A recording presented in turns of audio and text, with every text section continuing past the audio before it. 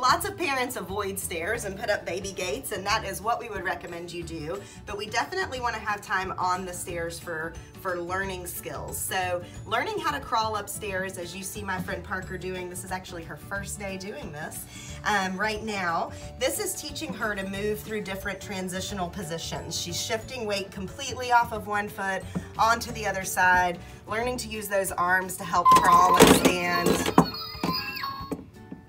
And then she's also learning how to move from what we would call a sitting or a kneeling stand position into a standing position, moving through kind of a modified half kneel position where one foot's going up and one foot is down, which is really important for learning to pull to stand at a surface.